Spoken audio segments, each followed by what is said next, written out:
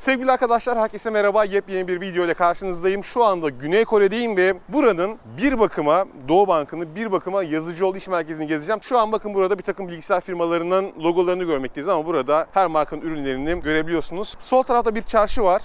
O çarşıya gireceğiz birazdan ve fiyatlara bakacağız. İkinci el ürünler var, sıfır ürünler var. Bu arada MSI burada devasa bir giydirmesi var yeni nesil MSI ürünlerini. Burada da görebiliyorsunuz. Hatırlatma yapmak istiyorum. Şu an Güney Kore'deyim. Bilgisayar firmalarının önemli bir çoğunluğu Asus MSI gibi firmalar, Tayvan menşeili Lenovo gibi bilgisayar firmaları, Çin menşeili HP gibi firmalarda Amerikan menşeili. Bunu da söylemiş olayım.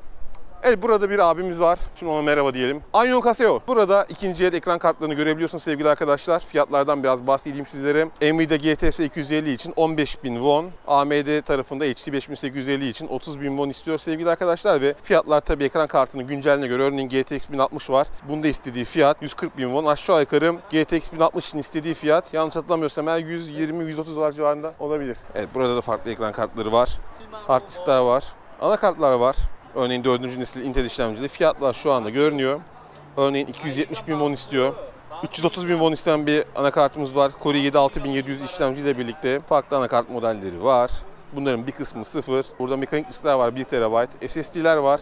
Samsung'un ana vatanındayız. Dolayısıyla Samsung SSD'ler burada oldukça yaygın bir şekilde görülebiliyor. Yine Radeon RX 580 var. Bunlar anladığım kadarıyla ikinci el fiyatlar çünkü 130 dolar civarında eğer hafızam beni yanıltmıyorsa. Çünkü won'dan dolara çevirmeye çalışıyorum. Yine burada da farklı ikinci el anakart modellerini görebiliyoruz. Yine ikinci el ekran kartları burada da karşımıza çıkıyor. Baya baya ekran kartı var sevgili arkadaşlar ama buradaki ekran kartları nispeten daha yeni. Bakın AMD Radeon RX 580 var, GTX 1080 Ti var, 1060 var, 1060 var, 1060 var, 1050 Ti var.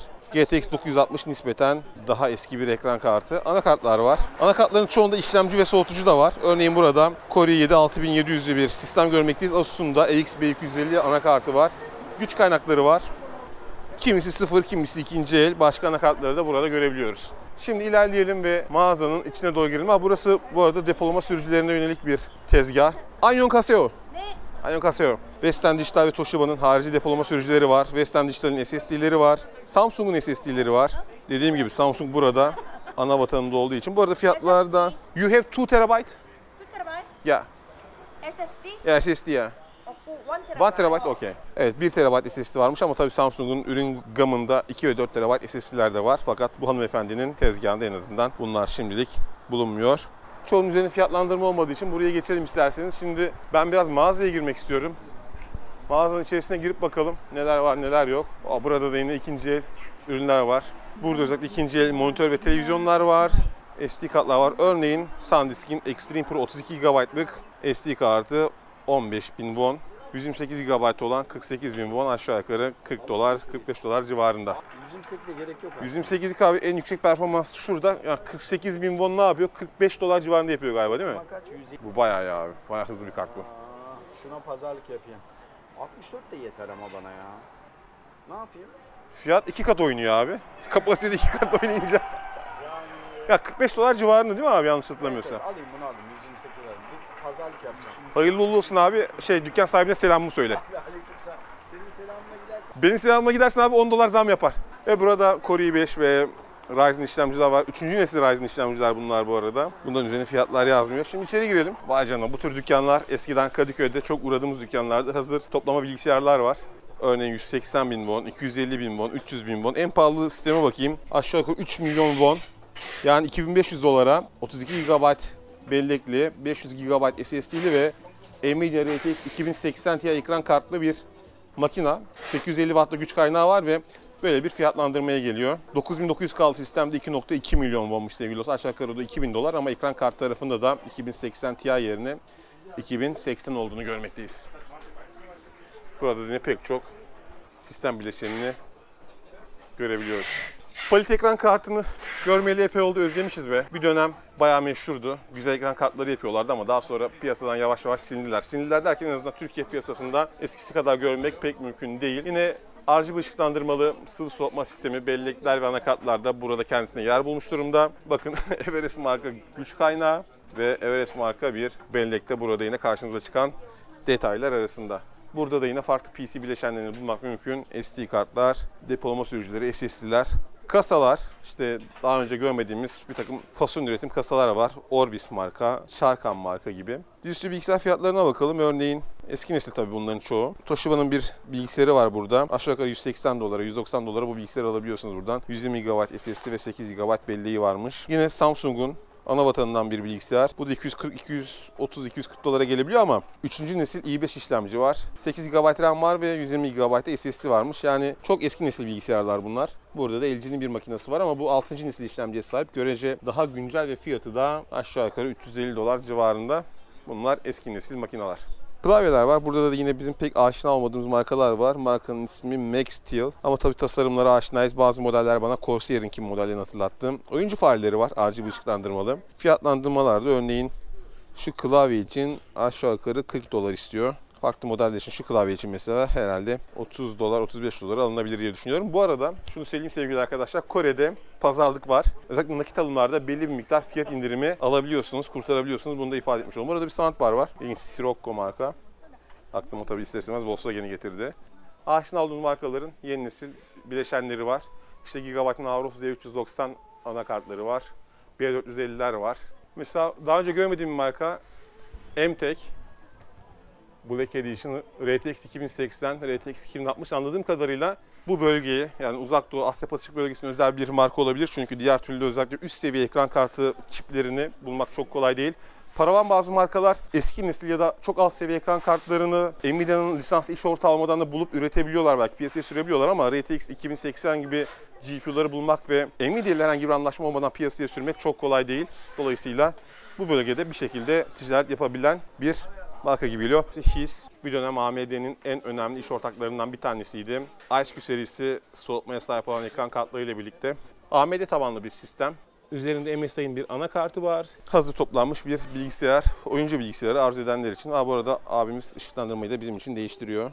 Özelleştirilebilen bir sistem. Burada hazır toplama bilgisayarlar satılıyor. Yani siz geliyorsunuz buraya ve konfigürasyonu söylüyorsunuz. Sizin için bilgisayarı topluyorlar ve fiyatla anlaşırsanız alıyorsunuz. Burada yine oyunlara özel sistemler toplamışlar. Ve daha doğrusu ya da belki oyunlarla pazarlaması yapılan sistemler var. Örneğin PUBG için bir makine toplamışlar. i5 9600K işlemci, 1660 Ti ekran kart, 16 GB RAM ve 250 GB SSD var.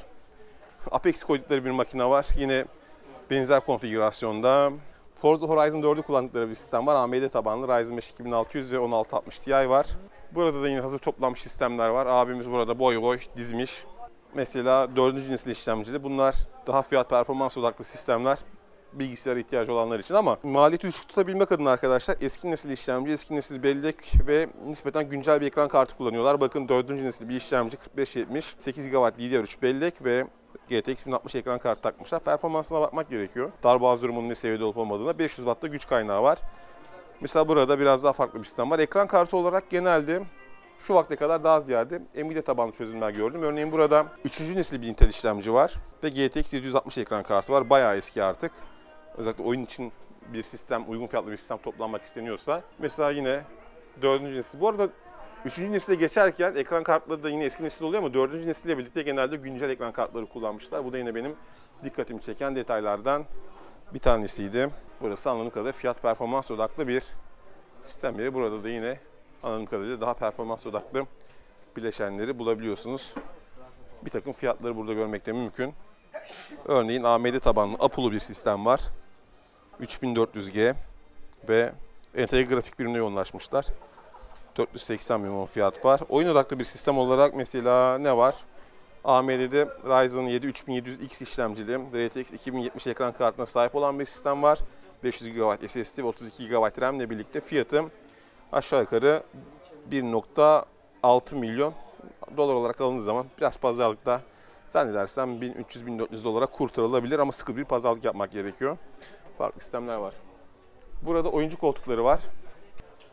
Mesela BMW marka bir oyuncu koltuğu var. Tabi bu lisanslı bir ürün değildir muhtemelen ama sonucunda otomobil tutkun oyuncular için böyle bir şey yapmışlar. Şurada mesela üniversite temalı ve futbol takımlarını gösteren bir takım koltuklar var. İşte Barcelona temalı, Real Madrid temalı, Harvard Üniversitesi'nin teması olan bir takım. Mesela burada çok şeker, Kakao Friends. Kakao buranın en popüler mesajlaşma uygulamalarından. Oradaki muhtemelen emojileri işaret eden bir koltuk. Rhine ve A-Peach. Yine burada farklı oyuncu koltukları var. DX Racing'i biliyoruz. Burada da AK Racing adı altında bir. O mesela bak bu tür bir şey ilk defa görüyorum. Ayak uzatma desteği de yapmışlar. Yorulduğun zaman ayakları da uzat, yat uyu tarzında. Bunu çok gördüğüm şeydir. Güzel bir aksesuar olmuş bu. Burada da yine az önce söylediğim üzere Harvard Üniversitesi'nin logosunu taşıyan bir tane var. Barcelona temalı var, Real Madrid temalı var. Gerçekten değişik olmuş. Yine oyuncu bilgisayarları da burada var. Mesela bu sıvı soğutmada custom design bir makina. Zannedersem kendisi için yapmış olabilir. Thank you very much. Thank you. Evet yine çok eski nesil dizüstü bilgisayar modelleri var. Bu nispeten LG'nin makinesi daha yeni. Asus makinesi tabii ki yeni. Burada da bir eski nesil Mac Pro var.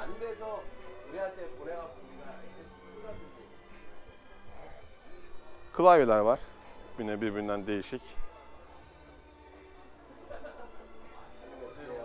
Aslında Bu da yine Corsair'in bir switchleri, klavyede kullanılan anahtarlar aslında nasıl kullanıldığını, nasıl tepki verdiğini gösteren bir demosu var. Burada yine bir dizüstü bilgisayarcı var. Eski yeni pek çok makine satılıyor. Mesela bu MSI makinesi nispeten yeni bir makine. GP75 Leopard. Asus'un yine yeni bir makinesi var. LG'nin yeni makinesi var. Bu makineler yeni sevgili dostlar. Burada hem yeni hem de eski makineler var. Asenal. Fiyatlar var. Mesela monitörler satılıyor burada. Samsung'un. Bir tanesi kavisli, bir tanesi düz olan monitörleri var. Abimiz burada PowerPoint prezentasyonu hazırlamış fiyatları görelim diye. Altta yine bakın makineler var.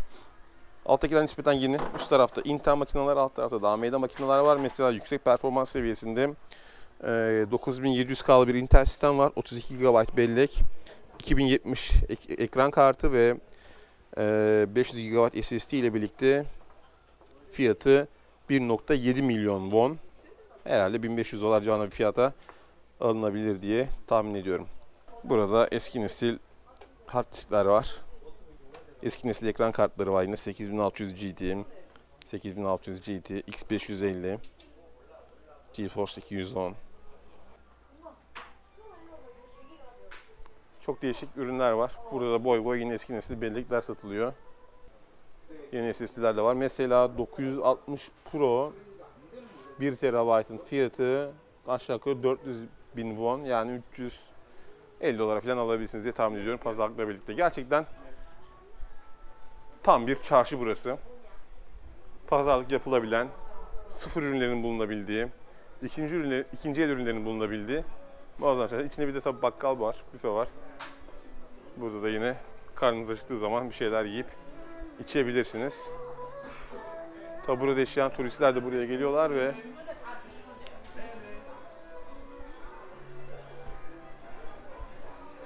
ihtiyaçlarını görebiliyorlar. RGB ışıklandırmalı fanlar görüyoruz. Değişik aksesuarlar var. Ses sistemleri, havalandırmalar, nemlendiriciler, iklimlendiriciler, hoparlörler. Mesela epeydir bir kreatif ürünü görmüyordum. Sound X. Bitway gibi markalar var, Bilis gibi markalar var. Bir kısım fason markalar, bir kısım orijinal marka.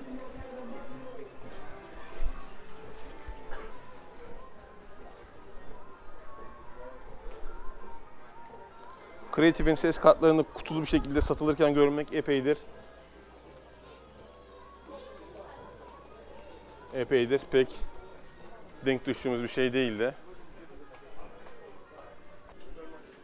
Burada yine farklı fason markaların oyuncu kulaklıkları var.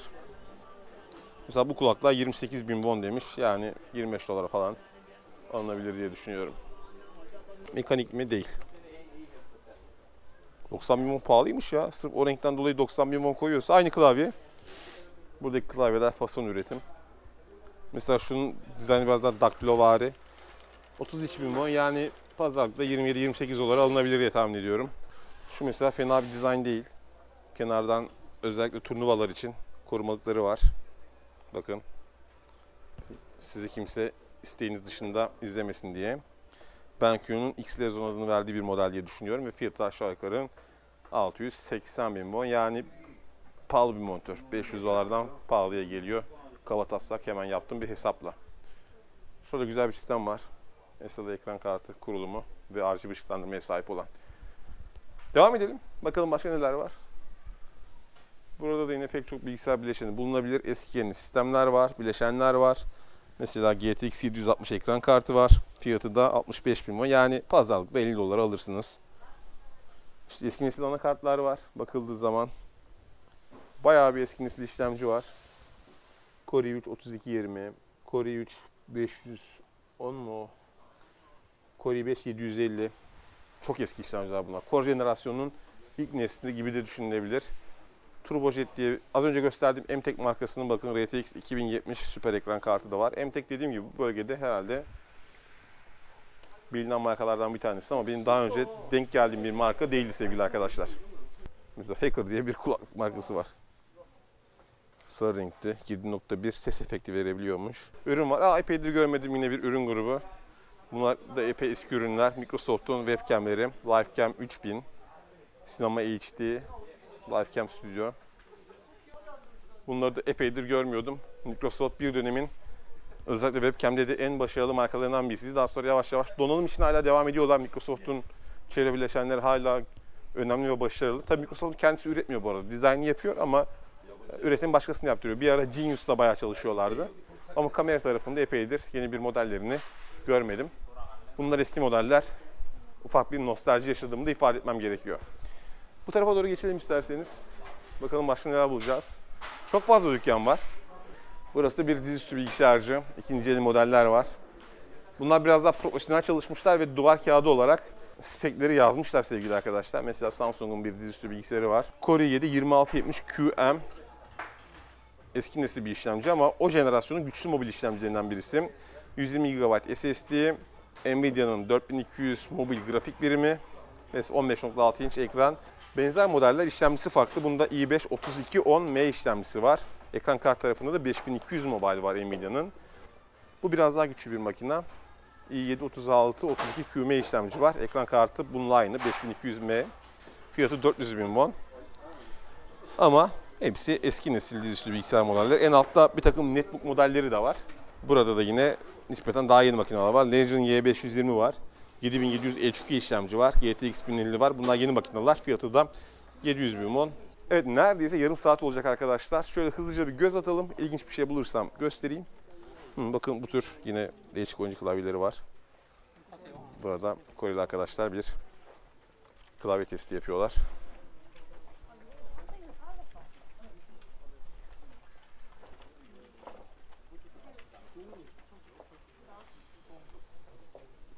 Merak edenler olabilir bu arada. Burası akıllı telefonların olduğu bir çarşı değil. Daha ziyade bizim İstanbul'da yaşayanlar, teknolojiyi bilenler, donanım dünyasına merak salanlar zaten biliyordur. Kadıköy'deki Yazıcıoğlu iş merkezinde benziyor. O mesela burada Samsung'un bir oyuncu dizüstü bilgisayarı var. Daha önce görmediğimiz türden bir makina. Ve RTX ekran kartı olduğu için Samsung'un yeni oyun makinalarından bir tanesi. Sonucunda Samsung hala oyuncu sınıfı dizüstü bilgisayarlar üretmeye devam ediyor. Neredeyse yarım saatlik bir çekim oldu. Montaj esnasında gereksiz yerleri kısaltarak sizlerin daha kolay izleyebileceğiniz bir video haline getirmeye çalışacağım. Ama yorulduğumu itiraf etmem gerekiyor. Yerel saat bugün cumartesi ve akşam 4 üzeri. Umarım sizler için keyifli bir video olmuştur. Elimden gelen her şeyi yaptım. Fiyat çevirilerini yaparken dediğim gibi dikkat etmeniz gereken nokta ekrana gelen fiyatların, ürünlerin üzerindeki fiyatların Kore wonu cinsinden olması dolara ya da Türk lirasına çevrilebilir tabii ki. Ben mümkün olduğu kadar kolay hesaplanabilir olanları kaba taslak bir hesapla sesli olarak da dile getirmeye çalıştım. Umarım sizler için faydalı olabilmiştir sevgili arkadaşlar. Buraya kadar gelmişken buradaki ikinci el teknoloji çarşılarında gezmek ve sizlerle video paylaşmak istedim. Akıllı telefonlarla ilgili çarşı bulabilirsem orada da çekim yapacağım. Ama bu video kapsamında daha ziyade bilgisayarları, bilgisayar bileşenleri, donanımları ekranlarınıza getirmeye çalıştım. Buradaki çarşıda eski yeni pek çok donanımı bulmak mümkün. Bazılarını görünce duygulandım, nostalji yaşadım. Eski günler akıllarıma getirdim. teknoloji dünyasına adım attığım dönemlerde haberlerini yazdığım e, bir takım ürünleri görünce de gerçekten insan şöyle bir geriye doğru bir hızlı geçiş yaşayabiliyor. Bu bağlamda da keyifli olduğunu söylemem gerekiyor. Umarım sizin için de bilgilendirici faydalı bir videoya imza atabilmişimdir. Eğer sosyal medyada beni takip etmiyorsanız şu an aşağı geliyor zaten. Instagram'da ve Twitter'da beni takip alabilir. Bu videoyu paylaşarak destek olabilirsiniz. Her zaman söylediğim gibi sizlerin vakti, daha doğrusu hepimizin vakti aslında en değerli hazinelerimizden bir tanesi. Çünkü vaktin geri dönüşü yok. Harcadığınız vakti geri kurtaramıyorsunuz. Dolayısıyla vaktimizi iyi harcamamız, değerli kullanmamız ve hakkını vermemiz gerekiyor. Bu bağlamda umarım harcadığınız vaktin hakkını verebilecek bir videoya imza atabilmişimdir. Bir başka videoda görüşene kadar lütfen kendinize çok iyi bakın ve hoşça kalın. İyi ki varsınız. Teşekkür ederim.